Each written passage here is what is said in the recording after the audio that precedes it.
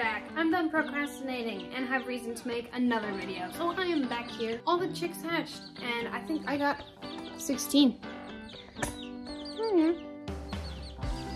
But as you can see, there's not a lot of room in that little bin and it's worked for like two weeks, but now they're too big. So I rummaged around in the garage for supplies to try and attempt to build a brooder, which wouldn't have really worked because I don't have a lot of experience with the, I would have figured something out.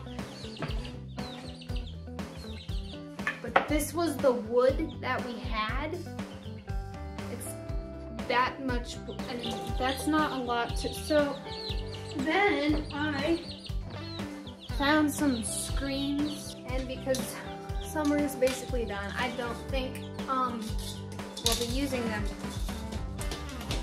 I did this last time, but they would always fall apart and they would like fall on the chicks and they're not that heavy, but they would fall on the chicks. So then I was like, I could poke holes in them, like along the edge, but then we might need them again next year. So then I resorted to like the best thing in the world, duct tape. So I'm just gonna duct tape them together and then see if that works. This is literally taking twice as long as it needs to, as I'm having to adjust the tripod. But anyway.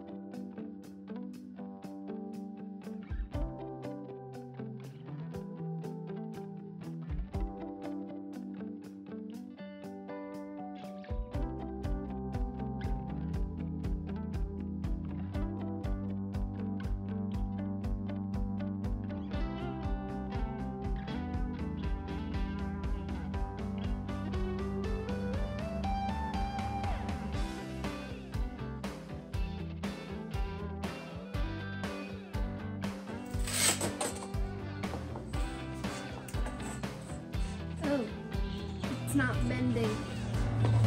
This, uh, whoops, okay.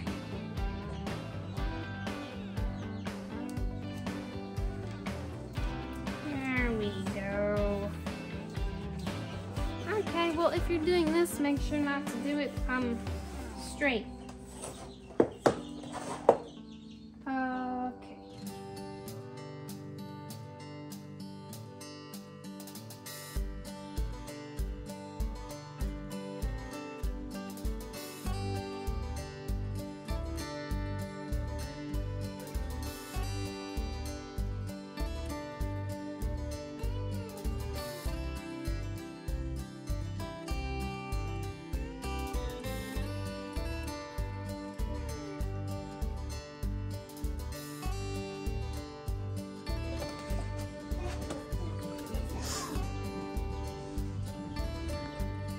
Well, I finished taping that all up.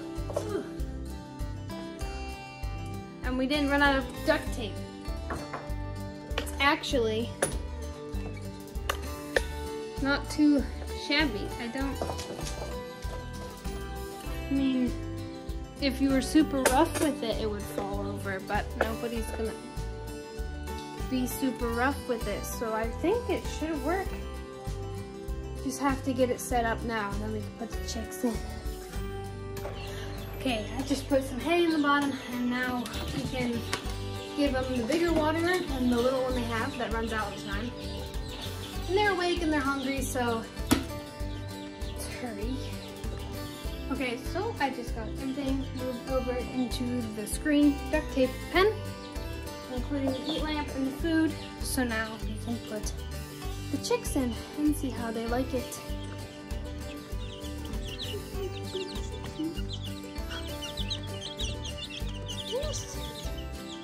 They are mostly black because my rooster is black, but we got a couple fun ones.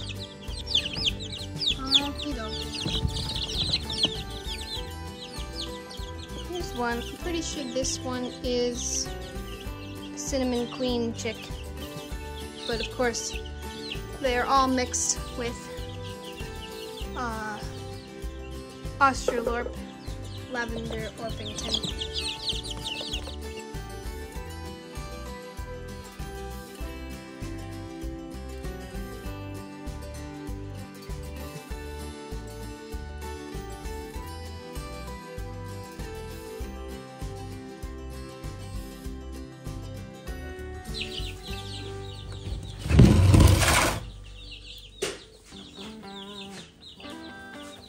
So as you can see, that's a lot more space for them.